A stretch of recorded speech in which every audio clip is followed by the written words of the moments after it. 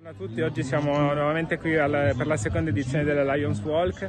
Siamo insieme nuovamente organizzando i Lions e i Leo e in questa giornata in cui ehm, c'è stata tantissima partecipazione, un'ottima risposta da parte delle persone che sul territorio decidono di farsi del bene per, e dedicandosi una giornata all'aria aperta e far del bene perché tutto il ricavato anche oggi sarà devoluto agli ospedali, in particolare al, a Regina Margherita, di, al reparto oncologico e all'ospedale Agnelli di Pinerolo. Quindi grazie a tutti i partecipanti e eh, per questa giornata e la, la, per questa partecipazione.